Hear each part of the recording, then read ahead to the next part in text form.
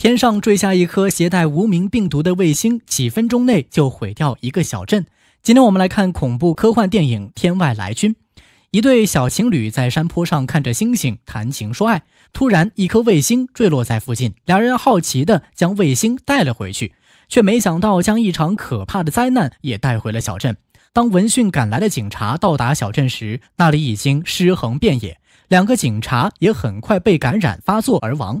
为了防止病毒传到邻近的城市，政府封锁了这座小镇。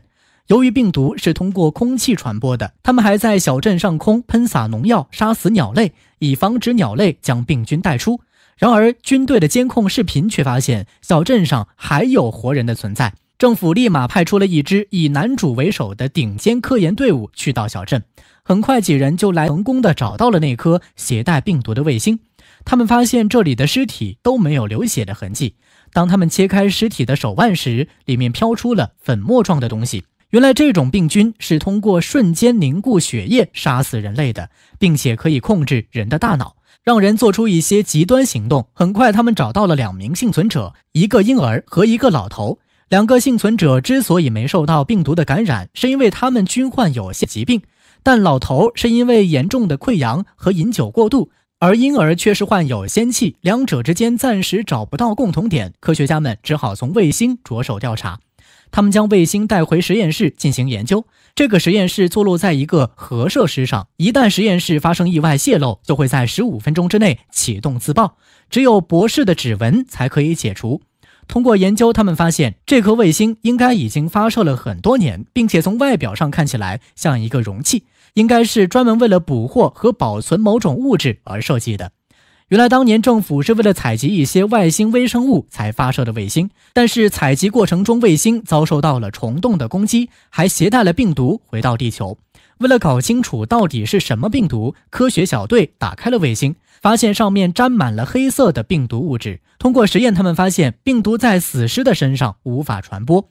为了抑制病毒的传播，政府决定用核弹将小镇炸平。但就在飞机装备好炸弹，准备袭击小镇的时候，他们发现核弹不仅不能消灭病毒，反而辐射还会促进病毒的生长和变异。于是他们赶紧撤回了核弹计划。然而此时的病毒已经变异升级，他们拥有自主意识，攻击了飞机。一瞬间，核弹爆炸，感染区域立马扩大了几十倍。科学家们赶紧加快了研究的步伐。他们发现，虽然两名幸存者的病不一样，但他们体内的胃酸却是一致的。这个发现令他们得出了一个结论：病毒只能在很小的酸碱度里存活。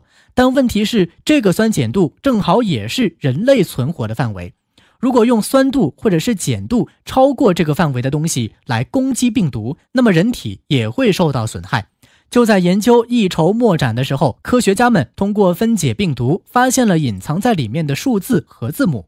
经过配对分析，发现这种病毒的天敌竟然是一种来自海底的古老细菌。猜测之后，他们得出来一个大胆的结论：病毒或许是来自未来。未来这种细菌由于人类的肆意开采而灭绝，人类因此面临灭顶之灾。因此，未来人类将病毒传送回来，就是想警告现在的人类要保护这种细菌。事不宜迟，科学家们赶紧大量培养细菌，然后将这种细菌呢载上了直升飞机，直接将它撒在了病毒所在的区域。很快，病毒就被消灭了。就在大家高兴的时候，实验室突然启动了自爆模式。原来，一个科学家受到威胁，要保留病毒样本，于是偷偷的藏起了一份病毒。没想到病毒泄露，将它给分解了。更糟糕的是，还引发了实验室的自爆模式，只有博士的手指才能够解除。